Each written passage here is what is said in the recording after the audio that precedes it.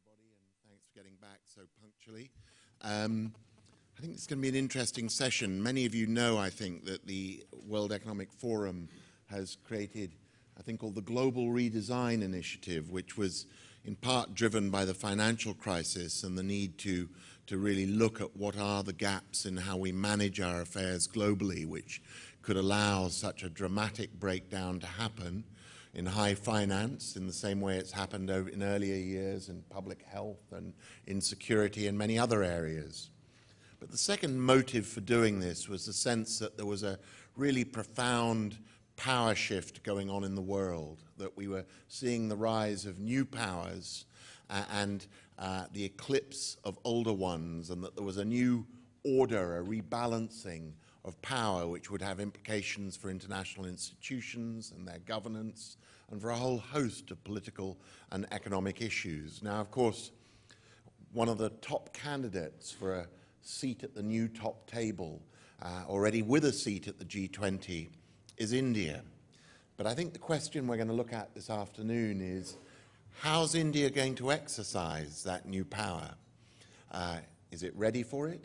Does it have a view uh, of what its particular uh, position and, and, and, and influence is going to be on, on global matters? Uh, and so perhaps in, the, in more informal language than the language of a WEF program, the question is, is India ready for prime time? Uh, and um, uh, I'm delighted that we've got such a great panel to discuss, dis, dis, discuss this. Um, I'm going to eat, uh, let me just quickly introduce the panelists. Um, I think all of us know and an impossible number of us are friends with Shashi Tharoor, who uh, combines a huge circle of friends and supporters here in India with many abroad. And he and I have been friends and colleagues for more decades than I would certainly like to admit, and certainly more decades than Shashi would admit. Um, the ever youthful politician has actually been in the UN for much longer um, than, than, than, perhaps people know. Um, but we're also joined with, with, for, with four very distinguished, sorry, three very distinguished discussants. Um, Rahul Bajaj, who's uh, chairman of Bajaj Auto and a member of parliament and a long, long time friend and supporter of the forum, both here in India and in Davos. Uh, Ajay Chhibber, who uh, is another old friend and colleague of mine from both the World Bank, and he's now at an organization that has a particular place in my heart, UNDP, where he's uh, the Assistant Administrator and Director for Asia.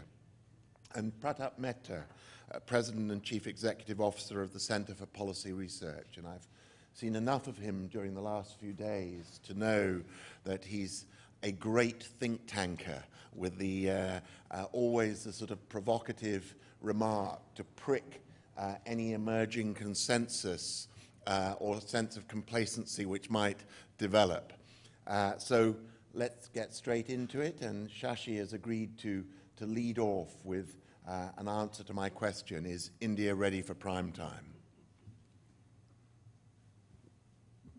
Thank you, Mark. And uh, I think if that was the only question, the answer would be very easy to give. Yes, and here we are. That's why you're all here, I'm assuming. But uh, I'd like to, given the, the, the, description of this, of this program today and the materials we've all been given, I'd like to talk a little bit about how we see global redesign. And I'll be very happy to address specifics of our own role uh, in discussions as we move on. Because clearly we're talking about redesigning the globe in a, in a very different uh, world from that in which the post-Cold War shape was given uh, in 1945.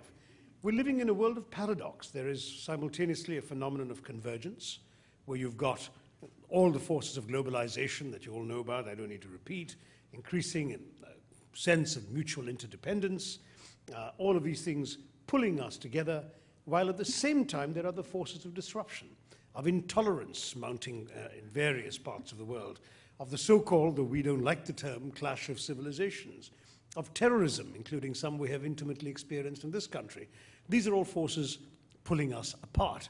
And both of these are happening together at the same time, at a time when we are clearly in the midst of a multipolar world, a world order in which it is manifestly clear, as it should have been for some time already, that the world's challenges are such that no one country or one group of countries, however rich or powerful they may be, can possibly meet them alone. So, uh, when Mark and I were at the United Nations, we used to speak of the world facing problems without passports, and this is obviously the case. I mean, the major problems facing the world, whether it's climate change, whether it's uh, international economic relations, refugee movements, human rights issues, food security, energy security, uh, uh, nuclear uh, threats, proliferation, terrorism. I mean, I can go on, drug abuse. The lists are so long, and every single one of them, by definition, transcends borders. It's not a question of one country, uh, doesn't affect only one country, can't be solved only by one country. And so it's become pretty obvious that we're living in a world in which global solutions are increasingly necessary for all sorts of global problems. This is why the notion of global governance is, in fact, not just one for the abstruse political science textbooks. It's very real. It's something we all have to experience and live with in the tangible real world. That's what make, makes international organizations and multilateral groupings so important uh, to us in India. And so when we speak of global redesign, as this panel speaks of, the structure, the process, the effectiveness of global institutions has to take a, a center stage. Uh, it's very clear that the institutions we have uh, reflect the geopolitics and the global economics of 1945 and not of 2009. I don't want to belabor the point because everyone here is so familiar with the elements, but there is no question that uh, if you just take one example, and perhaps the most obvious one here, the composition of the United Nations Security Council, you actually have five permanent members who have that position because they happen to have won a war 62 years ago. And is that a good enough reason anymore to have a veto over international peace and security questions in the world today? Uh, what about the overall composition of the Security Council itself? Fond though I am of Mark and his fellow Europeans, Europe, with 5% of the world's population, occupies 33% of the seats in the Council and so on and so forth. I can give you more figures. The, the, very, the very size of the Council in numbers. I mean, we have uh, United Nations was established with 11 Security Council members out of a total membership of 51. Today it's 15 out of a total UN membership of 192. So it's gone from 22% of the members having a voice in the Council to fewer than 8%. So both in absolute numbers and in percentages, more and more countries feel that their voices aren't heard in the process of international decision making at the high table. It's simply an illustrative example, and we can go on about this, but to make the point clearly that reform is overdue. Uh, the same applies to the General Assembly, which we see as the legitimate and principal legislative body of the international system. Um, the Economic and Social Council needs great strengthening to be a, a true uh, vehicle for development policy making across international boundaries. The UN agencies, including the one that Ajay now represents and that Mark used to head, um, they also need a, a, a strong, new, fresh look. And all of these things are issues on which we have views, we have a voice, we've made a contribution. In fact, we made contributions to every one of the institutions I mentioned, and we would very much like uh, to, to weigh in on the future direction of these bodies. The same thing would apply to reform of the international financial institutions. Uh, clearly, the time has come for a new global financial architecture. Uh, if anything, the recent financial crisis of the last year and a half has simply highlighted how inadequate these international institutions are. The G20 summit in Pittsburgh in September of this year was a good start in the right direction. It seems to have set in process, set in motion, uh, a process to redesign this international financial and economic architecture. And we are pleased that it's now the G20 and no longer the G7 or G8 that declares itself to be the premier forum for international economic cooperation. And that, of course, makes it also a major platform for North-South dialogue, which wasn't possible in the old G8 format. The reform of the Bretton Woods institutions, another corollary. Uh, again, the G20 said some interesting things about that. They've talked about a shift, they mandated a shift of at least 5% in the IMF's quota, the quota share from developed countries to developing and emerging market economies without affecting the existing share of the poorest countries. And they've also mandated a shift of at least 3% in the World Bank's voting uh, powers, which is interesting because right now Belgium uh, has as much voting strength as China in the World Bank, which is uh, I think one might add slightly odd in terms of the way in which the global financial uh, architecture is organized. This is, a, in our view, a significant development. It's only a first step. Our objective remains, uh, along with many others, uh, that of developing parity between the developed countries on the one hand and the developing and emerging market countries on the other. But at least we're finally moving in that direction after many decades of refusing to budge. Uh, and I might add in, in, brackets that the multilateral and regional development banks uh, are equally badly off. They need additional resources, they need adequate resources if they're going to make any difference in the regions where they are. Uh, briefly, a word as well about, you know, without affecting the old shibboleth of non-alignment, we are increasingly moving to a world of, no, of multi-alignment. That is that we are finding ourselves participating in lots of little groupings which bring a number of countries together amongst common areas of shared interest. So we have IBSA with Brazil and South Africa, but we also have BRIC with Brazil, Russia, and China. We are members of the United Nations, of course, and of the non-aligned movement, and of the G77, but we are also active in a tiny little grouping called the IOR ARC, which stands for the Indian Ocean Rim Countries Association, a grouping of just 18 countries but from three continents united by the mere fact that their, their shores are washed by the Indian Ocean. Uh, and we feel that all of this is part of the ways in which, in today's world, we must participate and engage. We don't want to see ourselves being boxed in only into one formula. There are various ways and various collections of interests and countries through which we can do, do our work. Uh, I'm anxious to, to keep this brief, so I shall, I shall end there. You've heard Indian foreign policy spokesmen for decades saying they were animated by the principle of Vasudhaiva Kutumbakam, whole world is one family, and that's, that's still fundamentally true. But within that whole world, we do believe the time has come to restructure uh, the roof, to open up a few more doors uh, of this one family so that the members of the family can intermingle together on more equal terms, but at the same time with a consciousness that we all live under one roof. And that famous Tryst Destiny speech that every Indian probably knows by heart. Jawaharlal Nehru memorably talked about his dreams being not only for India, but for the world. And he said that, uh, that uh, this is a world that is being increasingly knit together. Peace, he said, is indivisible, but so too is freedom, so too is prosperity, and so increasingly, he warned, is disaster in this one world of ours. And those words spoken in 1947 are even truer today, 62 years later. And it's from that spirit that Indian foreign policy seeks to engage with the kind of global architecture that we think is ripe for redesign. Thank you. Shashi, thank you very much indeed. That's really set it up very, very well. Uh, but what you've done is, you know, make the case how these institutions should be reformed to make space uh, for India.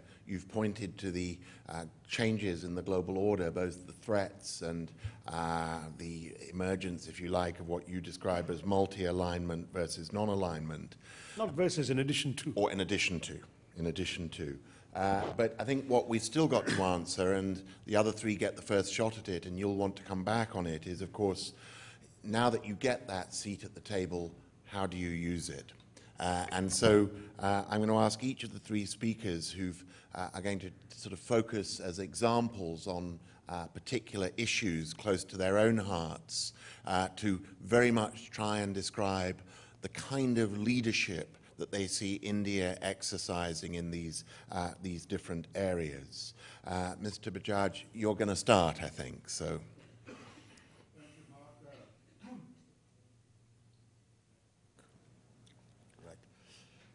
Uh, she talked about it being a one, one world, and that's a great objective, and that's where we should go. But I think we recognize that uh, in this world there are about 200 countries, each with its own interests, or each group with their own interest. And uh,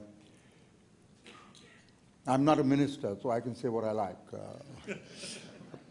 oh, I did too. yeah, but then you say, I don't get into trouble. but no more seriously.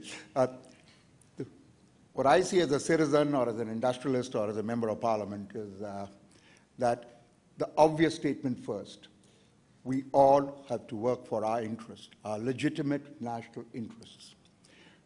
Second, to successfully do that in shaping the global, the future global shape where India can cooperate, we have to be domestically strong.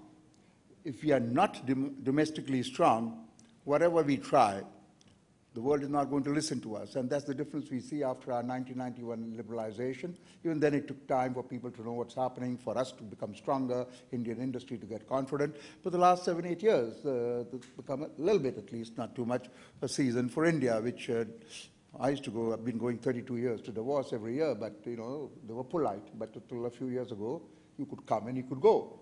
Mm, but now they want you to come and they want to come here, some of our friends are here. So you have to be domestically strong, which is a separate story by itself. We have had three days of discussions on that. The third thing uh, is uh, my personal view. There's a big conflict, a balance between moral standards. India is the land of the Buddha, 5,000 years of history and culture, Gandhi, Nehru's internationalism, we can't forget what's morally correct. But then there's a balance to be drawn between that and uh, our, again, legitimate interests. And sometimes, unfortunately, these can be in conflict. Myanmar being one example. We don't like dictatorship, at least I don't. But if we say so openly and behave like that, then others, including our great friend China, uh, is uh, getting its hands on everywhere Latin America, Africa, Asia, but that's not my subject today. So what do we do? And that's one example. There are many examples like that. In fact, China is the best example, apart from military might, uh, the economic strength argument. G8 became G20. I don't know what we are doing there, but I hope it doesn't become G2, which people have started talking about. So why? One, military strength. I'm not particularly fond of that for India, uh, except to have adequate deterrent. But second, economic strength. Then the third point, general point I would like to come to, where I think, again, I may have my reservations about China versus India, but I would rather follow their policy. Whether it's WTO, and that will be my example, or climate change. Our negotiators, and I'm being very general, we talk tough. Body language is tough, shrill voice, rhetoric. Sometimes we retreat very fast. They talk very diplomatically, very sweetly. Better still, they don't talk at all. WTO till recently, they didn't talk at all uh, uh, from Doha time. And uh, so let's, I would be very polite, like in industry when I used to talk to my unions, till my sons threw me out of the business and said, you become chairman. Uh, uh, I used to talk very politely to our union leaders. Please, I don't want to strike, la la la la. But I didn't give in on anything which I thought was wrong. Maintain our interest. Uh, the uh, example, because my time will be up, I don't get as much time as Shashi did. Uh, uh the example is WTO, but climate change is an exactly similar uh, example. We are the bad boys in the world's eyes. Ever since Doha, Maran's time, forget Jaitley was all right. Uh, then uh, now with Kamal Nath's time, uh, uh, you are spoiling everything on agriculture, on special safeguard, on this. Uh, when the G20 was formed first in Cancun, I remember the Financial Times articles. I remember what Zoellick said, whom I know a little bit. I know what Pascal Lamy said, whom I know also a little bit, not as much as these gentlemen know them. Uh, and they didn't like us at all. But sorry, I have no time to talk about it. I think we are all guilty to some extent. We, in the give and take, we have to also give.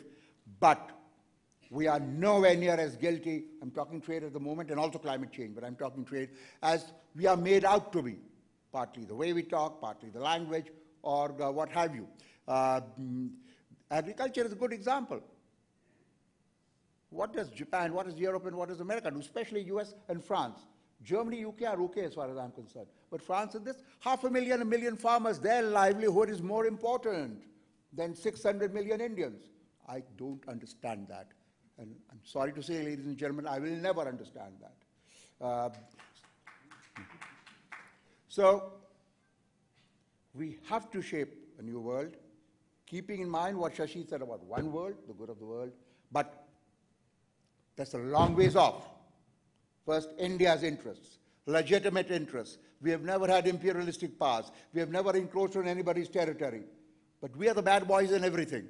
Sorry, per capita income 7% of America, 30% of China, and we are the bad boys. Cap it.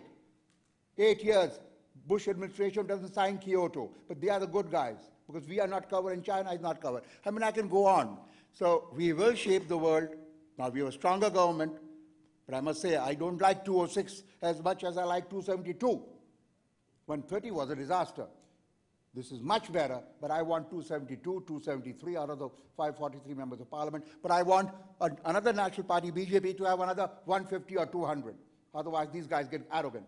So we want a strong opposition and a strong government, and that's the way we are moving now, and I think India will do very well. I'm very confident of that. Thank you, Mark. Rahul, thank you. That was fantastic. You, you, your sons should have pushed you out 30 years earlier so you could have had a career in politics. you're, you're, you're a natural at it. That was very powerful and I think impressed everybody.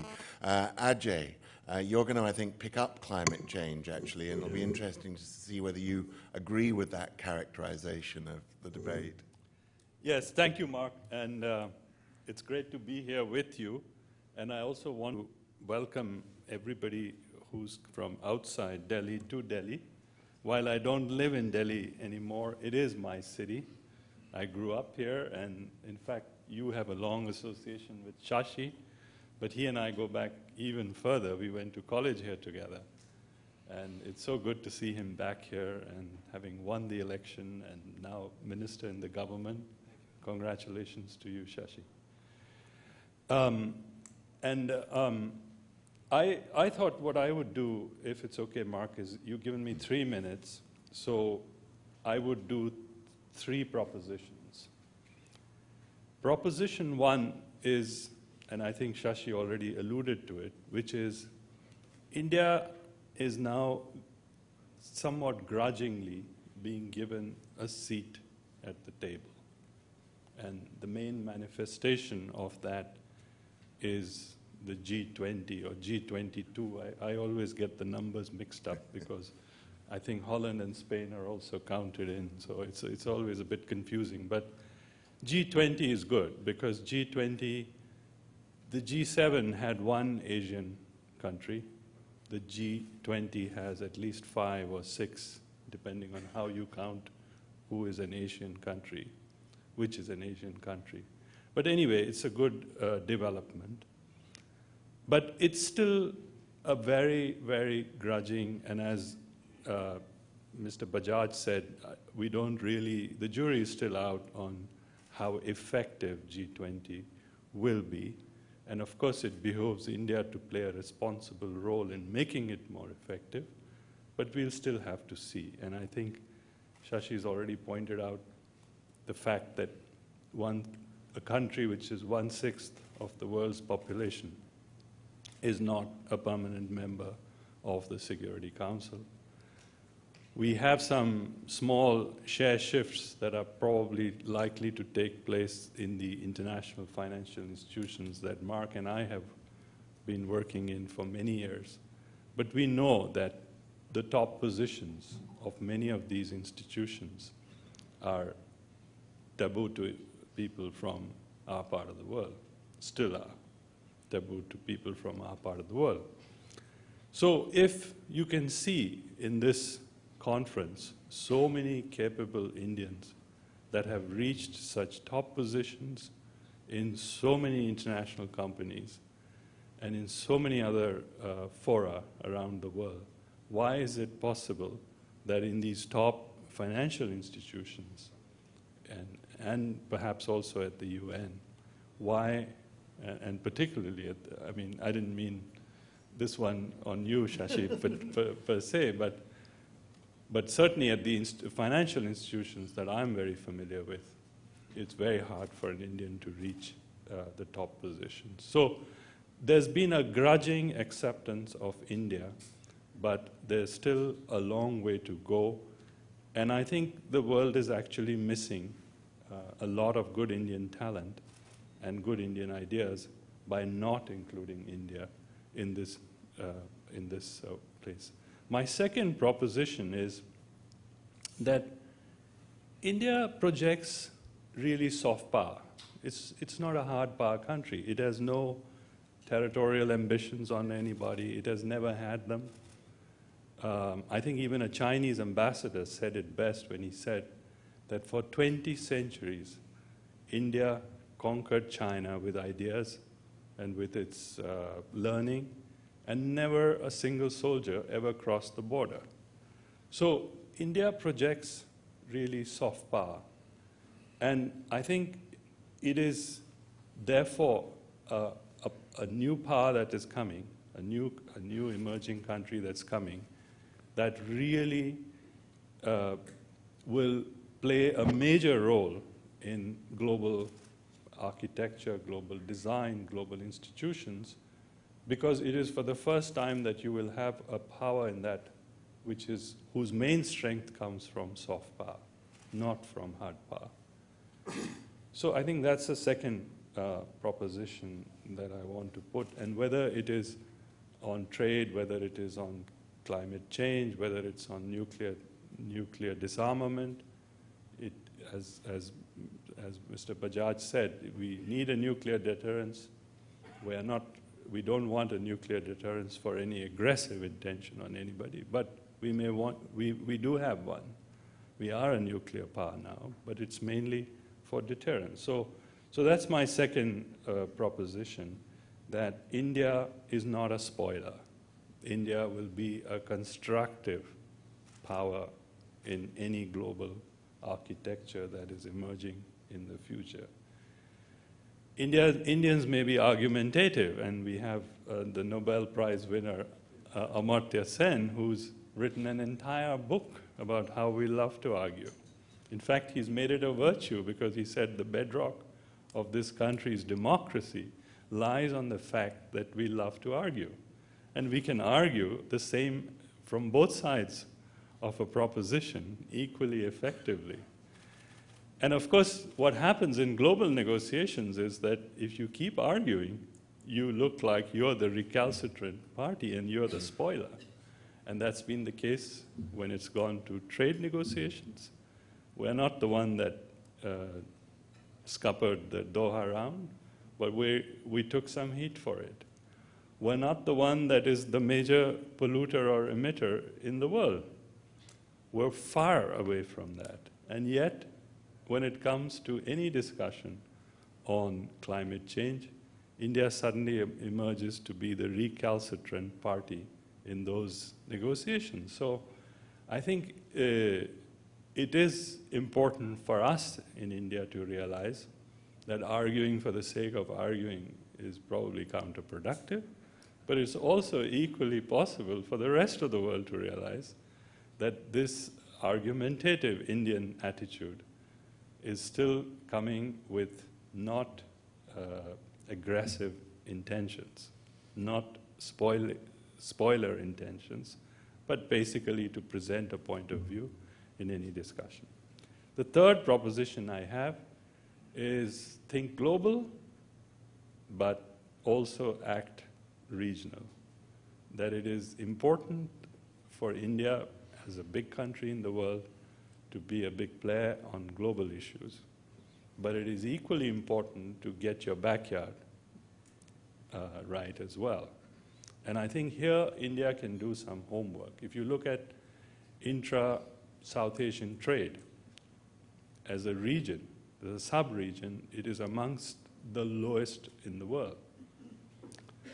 If you look at major climate change issues like uh, the Himalayan ice melt, there's very little discussion really going on between all the countries that will be affected. Shashi already mentioned the Indian Ocean. I mean, there's been some attempts there, but really not good enough. And when we look at how other reg- sub-regions, look at ASEAN and how much progress they have been able to make on some of their regional issues. So I think as the biggest power in this part of the world, it is perhaps India's responsibility to be able to bring everybody together.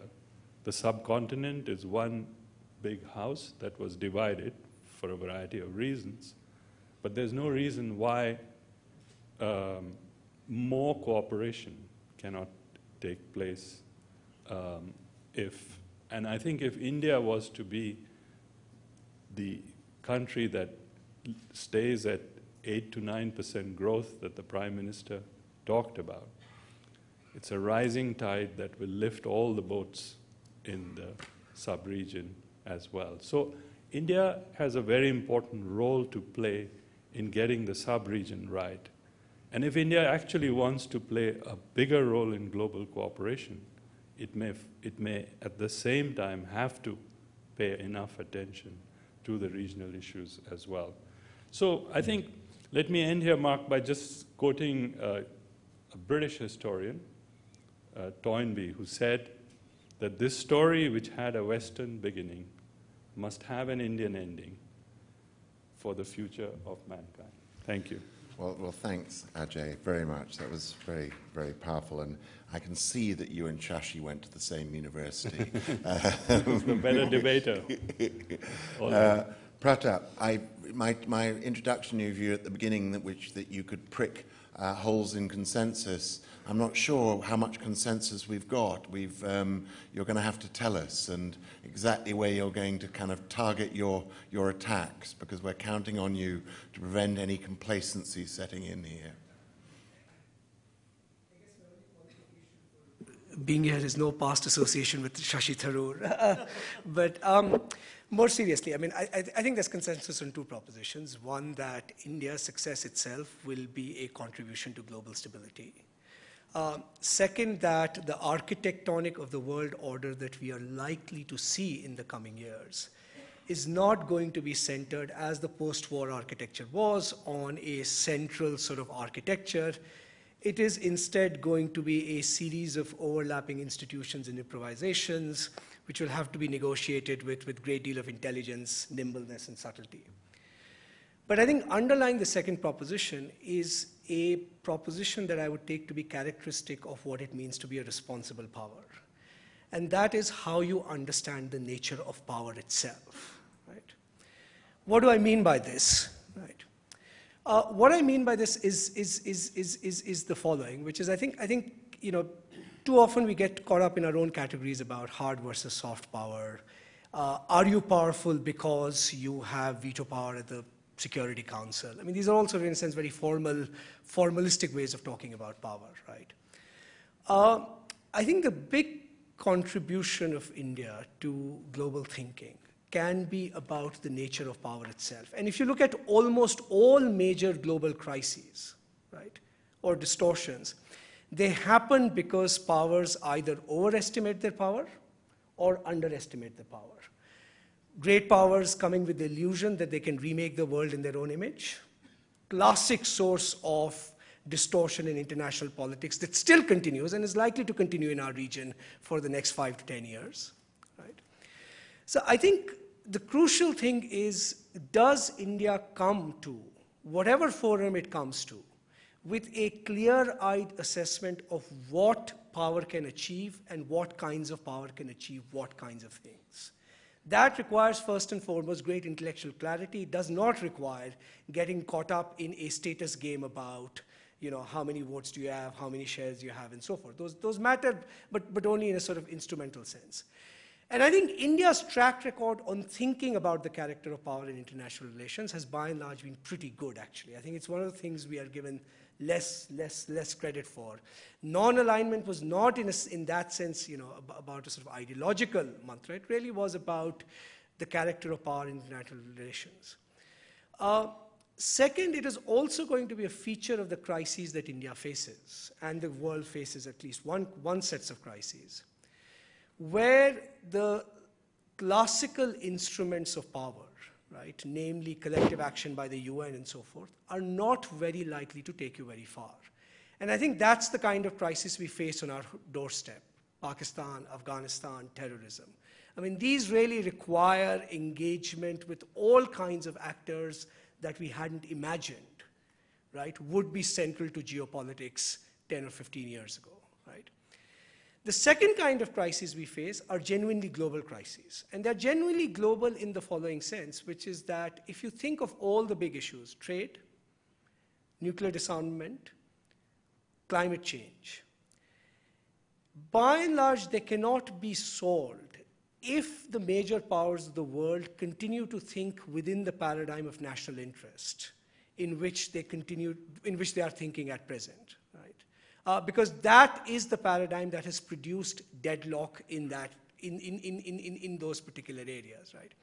Frankly, climate change is one of those areas where if we continue to think in the paradigm of our conventional national interests all over, right, there is no outcome but a deadlock. Right? And I think responsible powers in the 21st century will be powers that can, on these kinds of issues, move their own conception of what counts as national interest into more new and imaginative direct, directions. And I think, I think on this front, all the countries of the world have a lot of domestic work to do in their own politics. Right? Uh, but I think India is certainly, I think, I think, I think, I think capable of, of, of, of doing that. And I think we will see the debate on climate, climate, climate, climate change, uh, climate change uh, opening up. Uh, so to sum up, I mean, I think if you know to go back to the question, which is, I think the question of is India ready, I think can be posed in two registers. Sometimes it can be posed in a register, particularly in the West, where the question is a trap. And the question is a trap because what it says is, we don't want to do the things that it'll take to solve particular problems, whether it's terrorism, whether it's climate change, and so forth. By the way, can you do it for us? And if that is the expectation of India, the answer is no. India is not in that position, and no country in the world will be singly in that position. But if the question is posed, can India bring to its understanding of complex global processes a clarity right, that great powers of the past have obscured because they misunderstood the character of their own power? Right? And I think that is the history of the United States, for example, in the last 15 to 20 years, and I, I suspect will continue to be for, for the next few. Right? But if you can bring clarity to that question, that will be its most important contribution to international relations. And I think that India is capable of doing, provided it does not see international relations as this big competition for status. Right? Because there's nothing that distorts your own, your, your own clarity than a politics of self-esteem.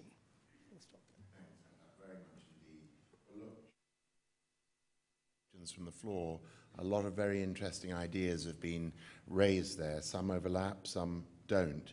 Uh, soft power versus hard power, uh, speak softly but carry a big stick. I mean, a lot of concepts have been uh, put out here. Um, uh, would you like a first go at some of them before we, we open it up? Thank you, Mark. No, I welcome that. I do want to say, just taking, uh, scribbling notes as the others were speaking, Rahul Bajaj is probably going to be horrified when I tell him that I agree with him. I mean, I, I don't see anything in what he said that I would, I would wish to disagree with, so I'll move on from there. Ajay's uh, propositions um, are largely fine. I mean, we, we clearly um, are not interested in projecting hard power as such in the world, and we, we would want to be a constructive player. Um, and we are very interested in thinking globally and acting regionally. Uh, one of my concerns, one of our concerns collectively, has been that it has not been for lack of India trying that some of the regional initiatives have been stillborn. I'm going to give you one example. Um, India and Pakistan are in this extraordinary situation. I think it's a unique situation in the world where we have extended most favored nation trading status 12 years ago, and they have yet to reciprocate. So it's a one sided MFN, which really is quite bizarre in the annals of international trade. So uh, there are, unfortunately, uh, political compulsions on the part of our neighbors that have impeded the sort of regional uh, uh, collaboration that we would like to promote, and that Ajay rightly points out is essential within this region, that there is a, great deal of win-win possible if, for example, a trade between India, and, direct trade between India and Pakistan, as opposed to smuggled via Dubai, uh, could not just increase, but quadruple or quintuple in the next year or two. But uh, while citizens of both countries would benefit, some of those who have a vested interest in hostility might find that a problem, and this is, this is a, a source of frustration on our side. But that brings me back to, to Pratap's very interesting and provocative notion at the end about, um, about uh, rethinking uh, the use of power uh, in international affairs and how we understand what our national interests are. It's a very interesting idea. I'm not sure it applies across the board to every one of the examples, since three were mentioned here, uh, nuclear, trade, and, and, and, um, and climate change. See, one of the th things is we have traditionally been willing to look beyond a narrow conception of national interest. For example, again, just taking examples, India's involvement in United Nations peacekeeping has involved risking the lives of our young men and women in uniform in places more than half a world away where we had absolutely no political, material, economic, or other interest. We've had Indian soldiers dying in Congo before we had trade relations with Congo. And we've done this simply because we've had throughout a very responsible notion of global citizenship and of the contribution that India should make to upholding world order. So it's not that we are lacking in any way in a capacity to think beyond what is narrowly uh, India's national interest. But then when you come to issues like trade and climate change, you are expecting democratically elected political leaders accountable to their populations to go out and negotiate internationally. They cannot be expected to put aside their fundamental responsibilities to the well-being of their own citizens who also happen to be their own electorate. That's, that's, that's where have to, they have to turn to. So yes, on climate change, we very much want to be part of the solution. We have said repeatedly, we don't see ourselves as part of the problem for all sorts of reasons.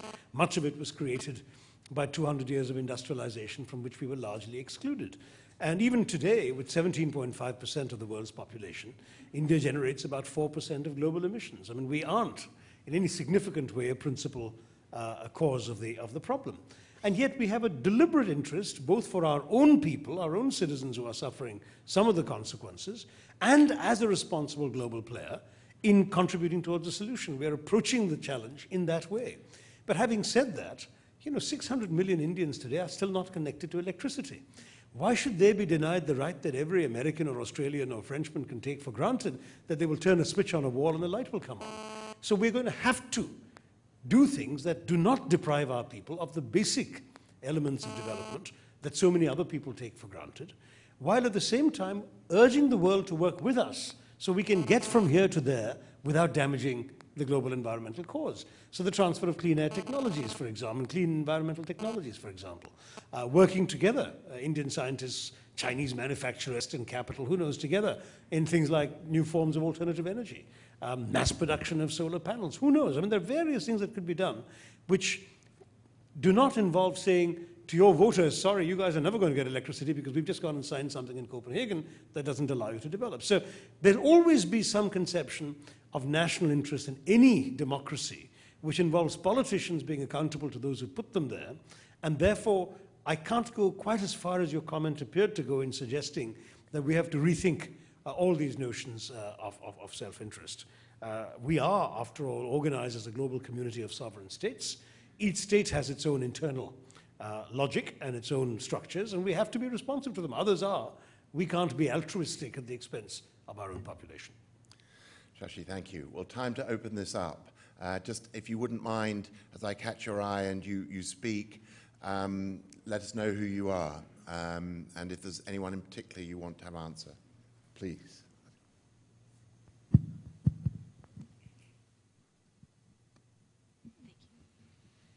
Geographic neighbors are sort of like family. You can't choose them, but you do have to learn to live with them and possibly even love them. Now, we are surrounded by a particularly um, uncomfortable zone. It's neither friendly, nor stable, nor secure. And we in India often feel like we've done sometimes enough, and often more than enough, to reach out to those around us.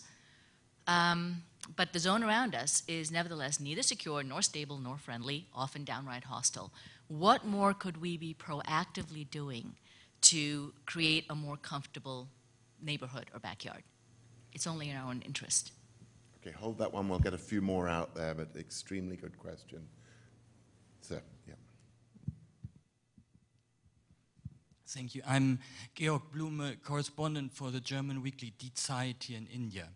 I've been working in China for the last 12 years. China is the one other new player in the world stage. But whenever they do a proposition, they are told they have the wrong political system and nobody, they have to be as diplomatic as you just mentioned before. So that leaves India as the country who can come up with the new ideas and with the new propositions.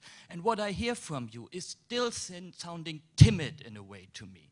It sounds like you have had bad experience with your non-aligned policy in the past, and you're not really daring now to come into the G20 and pick, put at the finger at where the West is, is, is doing bad governance for the world.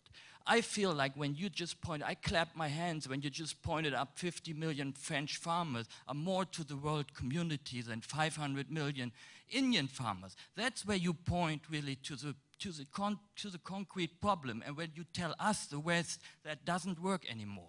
But you are timid. You are talking about soft power, notions of uh, international cooperation, structural things, where, you, where you're not really getting moral authority from. And that was, would be my question. Where does India get moral authority from on the world stage? Okay, let's take lady there, and then we'll, we'll, get, we'll come back, be ready to come back after that. Thank you. Um, Minister, I'm Amy Kazmin from the Financial Times. And um, I'd like to ask you, um, today or in or yesterday, I believe, um, a Chinese newspaper accused um, India of forgetting the lessons of 1962. And recently, tensions um, along the um, over Arunachal Pradesh between India and China appear to be um, heating up with things like um, China trying to oppose um, a loan package by the ADB that would have, um, you know, had loans for Arunachal Pradesh.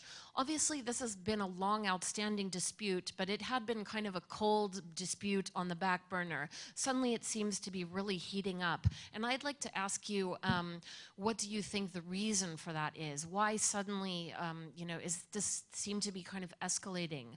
Um, I'd also like to ask a second question that's kind of a follow-up on um, Shefali's question about the neighborhood. India may perceive that it's been a very generous neighbor to those around it. I just came back from Bangladesh where I was told that Bangladeshis feel that India is a giant with the heart of a pygmy.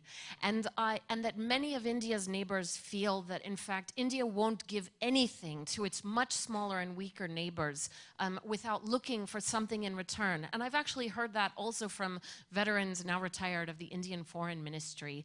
Leaving aside Pakistan, which is obviously a particularly vexed case, I'd like to ask you do you think India really knows how to be a generous and beneficent neighbor to the much smaller countries that surround it? Thank you. Well, there we are. Shashi, you can go first, but we'll invite others also to have a word on that. All right. Thank you. Well, three tough and, and good questions. On, on the, the question uh, that Shefali asked and, and, Amy's second question, they really tie in together, which is uh, we live in a tough neighborhood. What should India do and do differently? First, uh, I mean, it, it, it's a great line, this giant with the heart of a pygmy, but I don't think the facts and figures would stand up to that. I mean, I, you know, didn't come with a, with a fat prepared brief in my hand, so I can't give you exact numbers that you can quote in the FT, Amy. But the fact is that uh, if you look at the track record of India's generosity, if nothing else in pure dollar terms, to all of our neighbors, we have not been found wanting. Uh, time and time again, particularly when our neighbors have had troubles, whether natural disasters, civil wars, conflicts of various sorts, India has been the fastest and the first to come up with relief from tsunami victims to earthquake victims to flood victims. India's been out there. But we've also been generous in writing off loans and granting large sums of money. Uh, I need to point to the, the 500 crores announced at the end of the Sri Lankan civil war, the 1.2 billion spent in Afghanistan, entirely on development projects, building roads, uh, trans power transmission lines, hospitals, schools, clinics. That's the sort of stuff we're doing in Afghanistan. So if you look all around in Nepal, the figures are even higher. Uh, my impression is that if there is a perception that we're not sufficiently generous, it would be nice if that perception could be backed up with concrete examples and facts and figures. But I don't disagree that we need to overcome such a perception if it exists at all. And, and our fact, uh, our uh, uh, answer to, to Shefali's question is what we're trying to do in our neighborhood generally is first be helpful, as I said, whenever help is needed. We're conscious, we're on the spot. We have, by and large, we have the resources, the experience, the ability, the talent to be of assistance. And we tend to go in quickly as long as we're asked to do so.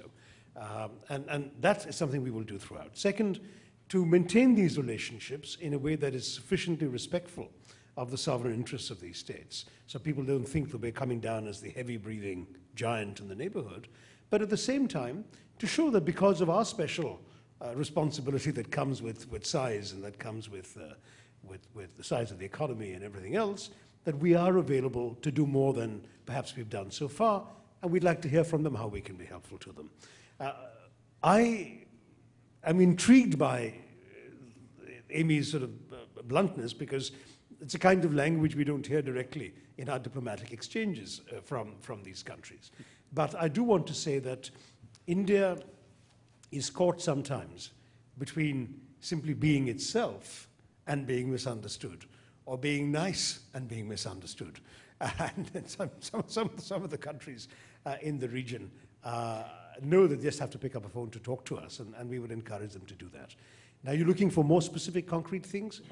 We are looking at specific projects with every one of our countries, sometimes more than one country. Can you imagine, for example, just as a hypothetical, a meaningful water project that involves Nepal, Bangladesh, and India? Hasn't happened yet, but India, believe me, is not the obstacle to any such discussion. There are things that we can all do together that would be in the interests of all the countries concerned. Um, with some, we have made tremendous progress. In the case of Bhutan, for example, the generation of electricity from Bhutanese rivers to be sold to India has now overtaken tourism as the number one contributor to Bhutan's GDP. Again, it's because India helped build those resources for Bhutan. We're happy to do that sort of thing. So I, I do believe that uh, if, as I said, there is reluctance on the other side and they're willing to overcome it, then that perception too can change. Uh, Georg, I think, was the one, right? The, the question about uh, new ideas. I think I mean, your question, there are certainly political parties in my country who would welcome the tone and assumption behind your question.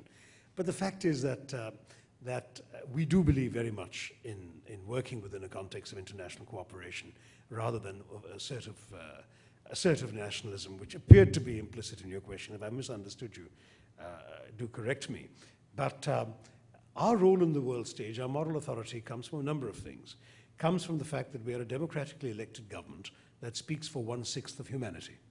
That we come to the world stage with a long record of responsible global citizenship. That we actually participate in pretty much all the global endeavors, negotiations, conferences, peacekeeping operations, you name it, uh, that requires international cooperation. And so we feel that our authority comes not because we're flexing muscle, but because we actually make a contribution that others value. That would be my, my response to you, and, and I am happy to pursue it further, but I haven't fully got the point of it. Finally, on China. Why is there an escalation? I don't know. You work for the media, and the escalation seems to be largely in the media on both sides of the border. So uh, you tell me why the media suddenly becomes so focused on all of this. As an Indian minister, I shouldn't be responding to a Chinese newspaper report. But let me just say that, broadly speaking, uh, to speak, to invoke, quote unquote, the lessons of 62 and so on is a bit, is a bit silly. Uh, there is no question in our minds that uh, we are far from 1962, and that in any case, history doesn't repeat itself quite that easily. Uh, we are no longer a woefully underprepared military, for one thing, uh, and we are a country which, in many ways, has moved on in the world since 62. Uh, so that sort of language is not helpful in any international discourse. But at the same time, I, I, think it's time we all dial down the temperature a little bit, or the volume knob on this, on this uh, series of media exchanges, because the fact is that, uh, that India and China have a large and complex relationship, which is about far more than the one unresolved problem we have between us on the border. Yes, we have a long unresolved border conflict, but we're, I mean, border dispute, we're talking about it. We've had 13 rounds of talks about it, and we in India remain determined to work constructively towards a mutually acceptable outcome. Having said that, we also have huge amounts of trade, $51 billion and counting. And what's more, that trade is, if you discount the IT and IT enabled services uh, trade we have with America, that trade would make China our number one trading partner in the world. We have Indian companies opening up offices in Shanghai and, and, hiring Chinese. We have Huawei opening offices in Chennai and Bangalore and hiring Indians. We have 7,000 Indian students in, Chi in China. Indian pilgrims are trudging across to Hindu holy sites of Kailash and Mansarovar every year. Uh, 58,500 business visas to Chinese last year given by India, etc., etc. So it's a large, complicated relationship with a lot of depth to it. Um, and indeed, uh, with some areas of convergence, including things like the recent meeting of foreign ministers of India, Russia, and China that we saw in Bangalore a week, 10 days ago. There's a lot of ways in which the two countries intersect and cooperate. Yes, there is one problem uh, whose, uh, shall we say, articulation in recent weeks has been a bit of an irritant. But beyond that, to, to escalate it to some sort of imminent uh, hostility or conflict a la 62 is frankly irresponsible. Thank you, Shashi. Hold on, we're just going to allow the others a chance to come in. Rahul, do you want to come in on that? Press your button. uh, surprise in turn Shashi by saying I agree with everything he said. Uh, and I want to repeat what he said because I agree with that. Uh, so, again, I repeat, but this is only as a citizen. Uh, not, not, not only is the question of neighbors, unstable as they are, beyond that, we have oil producing countries. You understand what I mean by oil producing countries? I'm not, we are dependent on them for our oil imports, and the religion is a situation. And then we have Pakistan and China. So what do I see as a citizen? I see as a citizen that in addition to Russia, with whom we have had long-term relationship, including when we were non-aligned, uh, we have to be friendly with the United States, very friendly with the United States. But where I sometimes am slightly uncomfortable is, U.S. very rightly, like all of us, each relationship is independent. They have to be friendly with everybody else, with the European countries, the NATO situation there, with Pakistan and with China. And of course, Pakistan and China are very friendly. So the way I see it as a citizen, you see, lapdogs are not respected. So I want to be a friend, but I don't want to be subservient. I don't want to use the language of sovereignty. Of course, sovereignty, of course, we are not going to give up our sovereignty. But whether climate change, whether it's the NPT and CTBT, whether it's WTO, we should not forget our interest. We should do everything we can for climate change, proactively. Jairam Ramesh, our minister, said that. But we may not agree to cap, we may not agree to do something under pressure. Because if we succumb to pressure, then we are not friends then you are subservient in some manner, and then you are not respected. I'm not concerned with status. I'm not concerned with anything of the. I'm only concerned with India's interest and the interest of our citizens, and I'm not a politician. He had to get votes. I don't have to get votes, but I am concerned with uh, my citizens, my co-citizens' interest, and that I have to maintain together with my friendship. That's the only way even the friendship will remain. And lastly, in that connection, I must be seen as correctly strong. Last two years, when I come from Mumbai and Pune, we've had terrorism on the one hand and enough problem with what we call Naxalites and Maoists within the country. Now, without going into detail, no time for that, terrorism we just have to defeat. We can't argue, we can't logic, we can't do anything. They come from across the border, they want to hurt us, they want to destabilize us. We have to fight. Whether we succeed or fail depends on how well we do it. In a different context, she said, we are much better prepared than we were in 1962. I don't think we are adequately prepared in totality. We have not been buying things for our armed services as much as we should for various reasons, but we are better prepared. So, terrorism, we have to fight. Naxalites and Maoists, I don't even differentiate between them. We have to do fight on two grounds development, progress, amelioration of poverty, taking care of tribals if they have been ignored. Unless you do that, you can't just keep fighting with a gun. It won't succeed. Uh, you have to do that, but then all that will take years. It can't be solved tomorrow or two years or three years. Till that time, if the guy picks up a gun, breaks my law, that will not be allowed. The state has to has the responsibility to protect my life and my property. And so then they must be fought compassionately because, because they are weak and they are poor and they've been ignored, but uh, that doesn't mean you can you know, fight with the barrel of the gun. And so that might, we must be strong. We must be seen to be strong, compassionate, compassionate empathic, uh, sympathetic to the weak and the poor, but uh, weakness, uh, covering ourselves by saying we are nice and sympathetic, but being weak, I don't believe that is a solution. Pratap, a view on this quickly, if you don't mind, so we can get some more questions. Yeah, uh, just quickly, uh, just two quick points. One, a clarification on climate change. I didn't mean to suggest that India should unilaterally do it. It's, it's just that we have to, there has to be a global understanding of the structure of that problem, which is different from the one that all countries are bringing to the table. But on China, I think it's important. I mean, I think, I think, uh, um, I think the roadblocks in this relationship are getting more serious. I mean, I don't think it's simply, uh, we like to dismiss Times Now and as a channel, and you know, so it, but, but, but, but, but there are serious roadblocks to this relationship. Yes, it is true that China is our largest trading partner, but in the coming years, we also have the largest number of anti-dumping cases against China.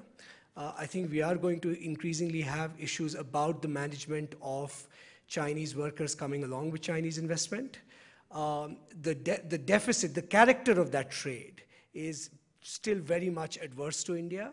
Uh, I think there are going to be issues around the transparency of Chinese pricing. So, I mean, let, let, you know, I, I, mean, I think even on the trade side, uh, it will help us if we candidly acknowledge that there are these problems. But the two most important things about the Chinese relationship are, one, I think you will find a lot of Chinese intellectuals beginning to say that the one thing that has changed in the last five years is the fact that there's a realization in Asia that democracy does not have as high a growth penalty as people used to assume that it does.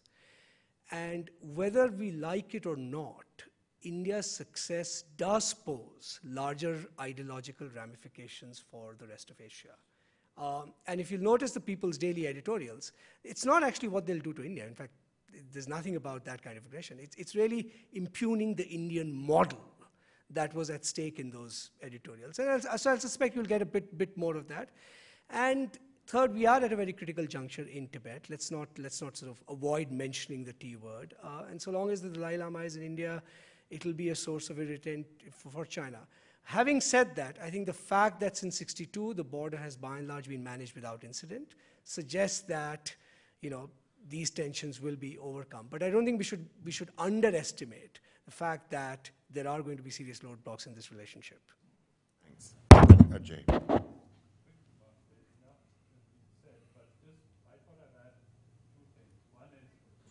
Uh, just to add two things.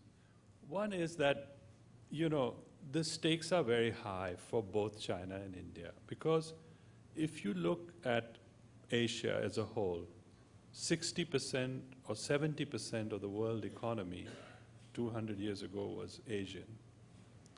And if the growth rates of China and India continue at the rate at which they have been going, by 2050, 60 to 70% of the world economy will be Asian.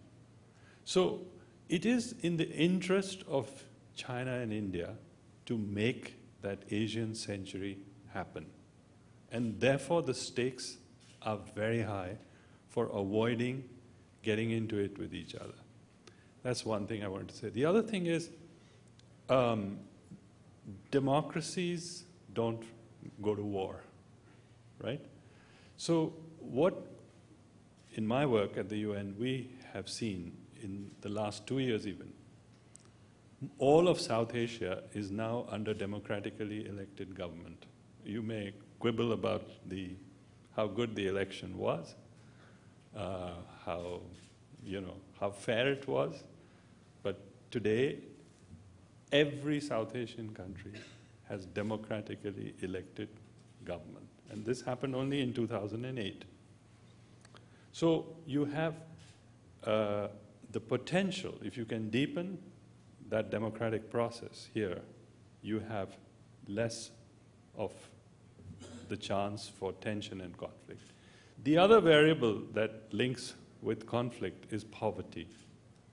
Poverty and conflict go together, um, and that's empirical around the world. And therefore, more uh, prosperity in India and in the neighborhood of India will lead to less tensions.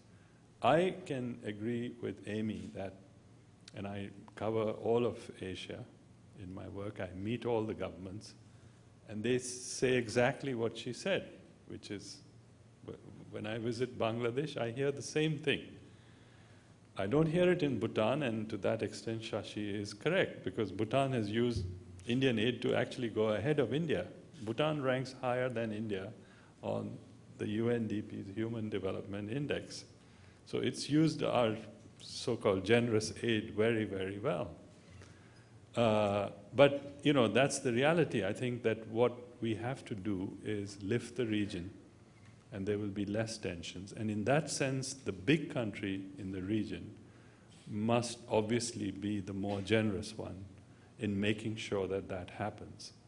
And it's not just here. I mean, look at the United States and Mexico. Whatever the United States might do, the Mexicans will always feel that they were not treated fairly or generously, etc. So it's the same here in our neighborhood, and we have to realize that.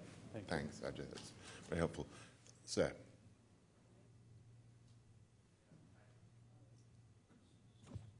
Hello? Sorry.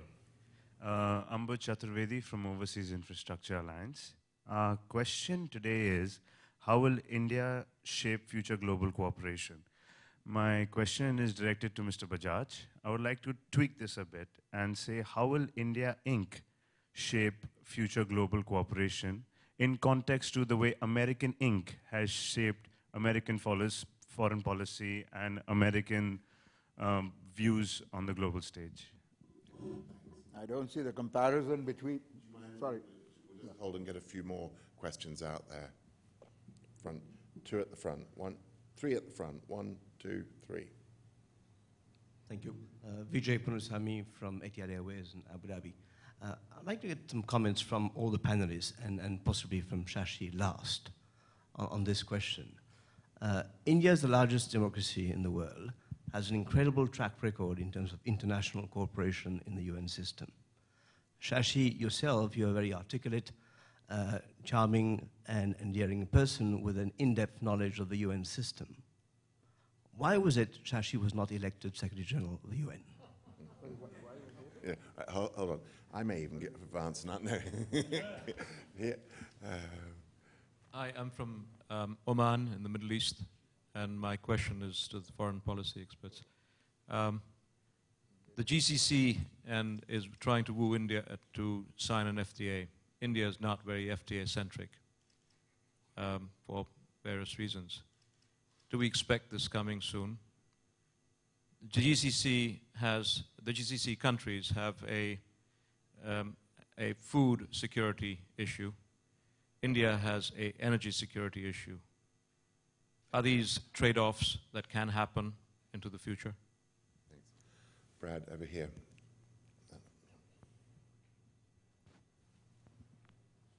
Thank you. I'm, I'm Brad Adams with Human Rights Watch. Uh, I want to ask you uh, all to talk about why India, because it is the world's largest democracy, it has great traditions, it has a very strong judiciary, it has a constitution that is admirable, has a Supreme Court that's very active, why India doesn't have a foreign policy that promotes human rights positively.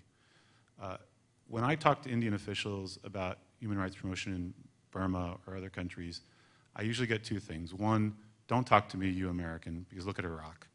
Um, you know, very, a very defensive kind of approach. I, I, I marched against the Iraq War, so uh, it's fairly ironic to get that back. But I get that a lot. Um, or two, uh, we have to compete with China, and we will lose out to China if we, for example, don't cozy up to the generals in Rangoon because China gets all the contracts. To which I say China will get all the contracts anyway, and it's sort of a dead end, and many people in, in India recognize that. But why not a more positive view of India, you know, a long-term view about where India can go and, and, the values it represents and how it can be different and how it can, can compete positively with China? Sure, you'll lose some places where the lowest common denominator is un, unconditional aid and, and saying nothing from China, but you'll win other places. And, and, that's where I'd like to see India in the next decade or two. I think India can play a, a very positive role internationally that it's not playing right now. Okay, hold. We're going to take one more, which is back here.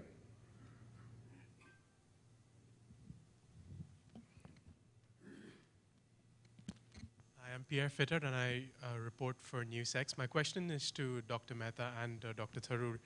Um, this, this whole move of India from non-alignment to from non-alignment to non-alignment and multi, multi-alignment, I'm wondering if it's an attempt to make India look more benign, less, um, less, uh, less, less dangerous in some ways.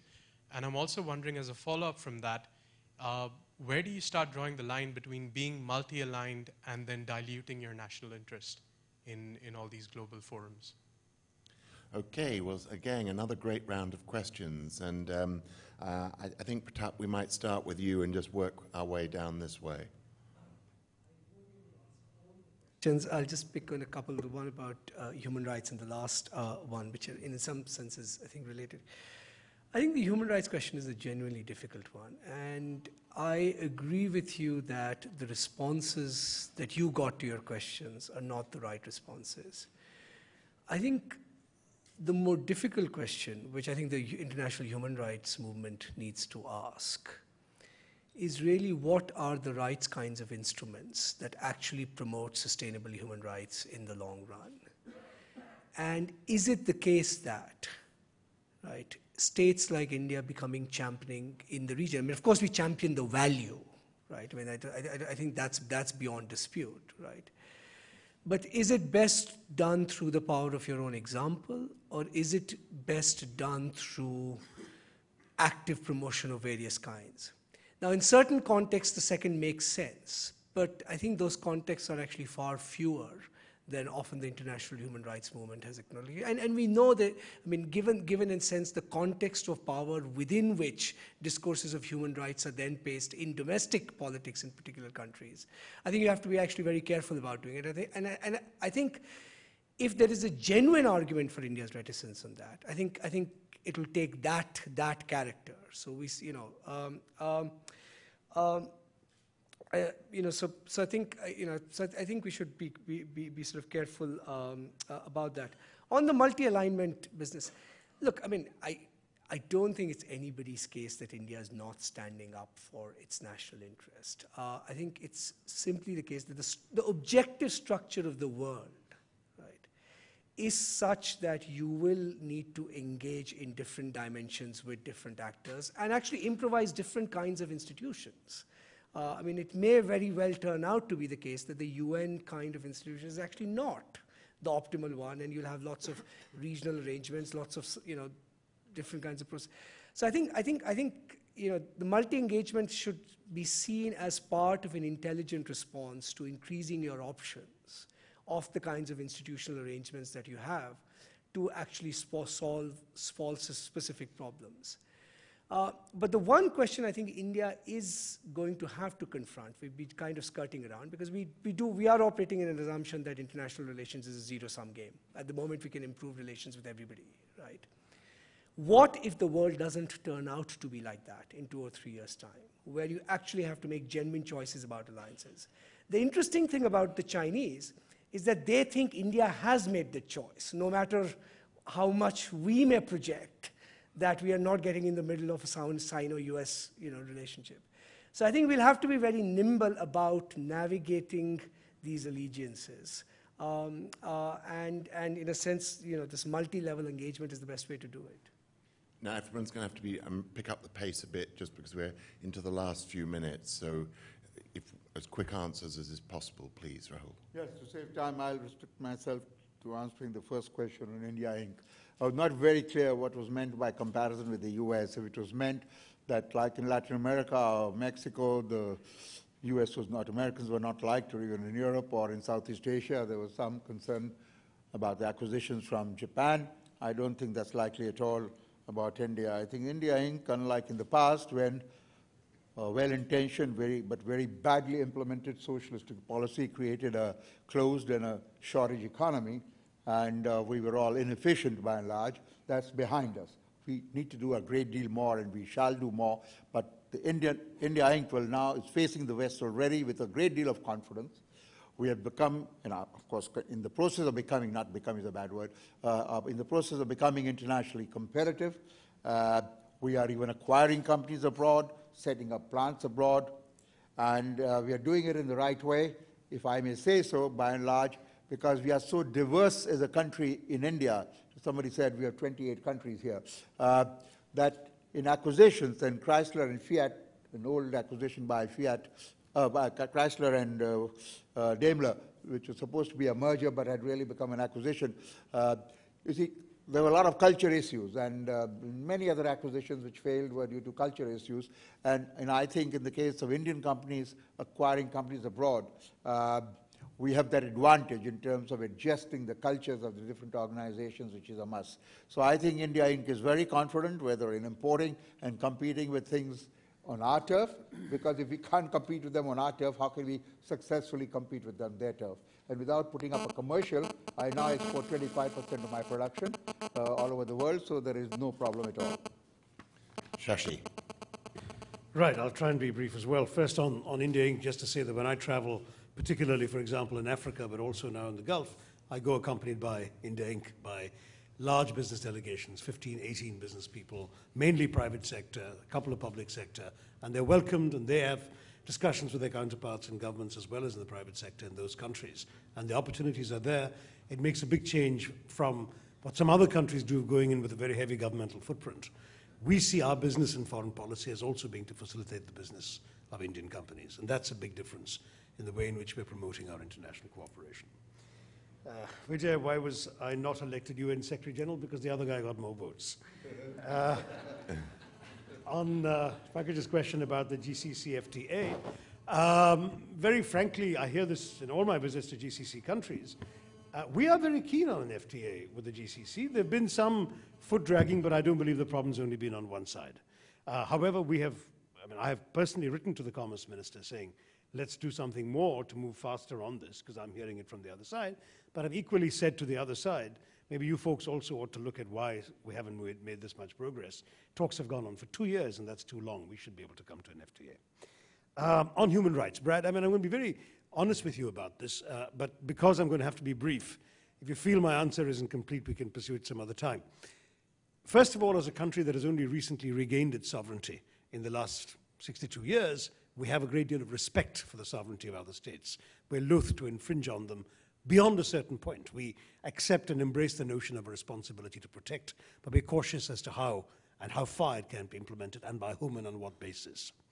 Secondly, and similarly, as a country that for 200 years was the object of somebody else's civilizing mission, we're very loath to be attempting to impose our civilizational values on others. But at the same time, we're fundamentally attached to democracy, to transparency, and to human rights in our own way of organizing our own society. And we are not hesitant to point out that these values are actually an effective way of organizing a society. We have instinctive sympathies with other democracies. Uh, Rahul alluded earlier to our policy on, on Myanmar, which got us into all sorts of trouble with the military regime in that country after our overt support for Aung San Suu Kyi and the student movement in the early 90s. So there are certain tangible uh, consequences of expressing democratic sympathies. But as Pratap rightly pointed out, the way in which the human rights uh, issue is organized, the fact that you basically have human rights movement uh, advocates saying we judge your human rights credentials but whether you vote against certain countries in a body organized on the basis of members of member states of sovereign governments for us that is not in fact the best yardstick of judging a country's commitment to human rights and our worry is precisely that since many of these countries that western human rights advocates would like us to vote against are countries with which we have complicated and rather important relationships that we seem to be asked almost uniquely to sacrifice our political and economic interests on the altar of somebody else's agenda. And this is a complicated matter. We are committed to human rights in our own country. We'd like to stand for the right values. We certainly do not applaud dictatorships, but at the same time, we don't accept this litmus test that the question appeared to be implying. Finally, the, the um, non-aligned multi-aligned business. Sorry, I'm the one who came up with that word multi-aligned. It's not a government of India formulation, so don't blame the government. I just came up with it while speaking to you all and, and, and a little earlier. Just to stress, non-alignment was in a world that was divided very clearly between two camps. And we were the camp that refused to make a choice. There's a wonderful little apocryphal story of uh, an American Secretary of State saying to Jawaharlal Nehru, Are you with us or against us? And Nehru replied, Yes. We're with you when we choose to be. We are against you when we choose. We will make our own choices, and we're not going to be committed to either camp. That world is gone. We're no longer a world divided into two hostile, warring superpowers. It's a world of, of, of multipolar world, as I said at the beginning of my remarks. And in that world, we do need various kinds of alignments as different ways of pursuing our interest. It's not to dilute our national interest in any way, as your question asked. It's finding different forums, different partners to pursue different aspects of our national interest. But having a number of different forums, which I refer to as multi-alignment, is not incompatible with our historical experience as a non-aligned state, is not incompatible with our neighborhood responsibilities. Indeed, we've also been shaped by 62 years of the practice of democracy. So we are a member of the Conference on Democracies as well. We've got all of that. They're just different ways and different forums of pursuing our interests around the globe. I'll just pick up one, which is this uh, question on the GCC, to make a different, uh, another point, which is uh, India has navigated the global crisis quite well, and there are many reasons for it, among them what I call accidental Keynesianism. I mean, we ran a large fiscal deficit even before the crisis, that helped. But when you look at the composition of our trade, while India opened up quite significantly to the world on the trade side, uh, if you look at the composition of trade, there was much greater, much less reliance on developed markets. And over the last 10 years, a very big shift in the composition of trade towards the GCC and even towards China. So the uh, I, I, I mean, I think India is already moving uh, quite aggressively in that direction of more what we call South-South trade, and quite successfully when you look at the composition compared to, compared to, let's say, even China itself, which is much more dependent on developed country markets. So I think the, the, the, there are some lessons there for you know, for, for broader uh, trade architecture as well. But certainly for the GCC, if you look carefully at the numbers, there's been a huge increase. And as you rightly said, there could be a lot more. Thank you. Thank you, Ajay, very much. Thank you to all the panelists. I mean, I think I could safely predict this subject will be back next year uh, because I think what we're seeing is the early grappling with the concepts, the institutions, uh, the issues which are going to drive clearly a more assertive Indian foreign policy. Uh, and with a seat at the top table, I think we're hearing this afternoon, come responsibilities and challenges the resentment of neighbors, the expectations that you're going to stand up to the plate on issues such as, as human rights, uh, the challenge of finding the right balance between, to use the old term, soft power and hard power in a world where uh, India is going to start bumping up against others. Uh, so, as I say, welcome to the first of what I suspect is going to be an annual highlight of the Indian uh, summit here, uh, which is Whither Indian Foreign Policy. Thank you.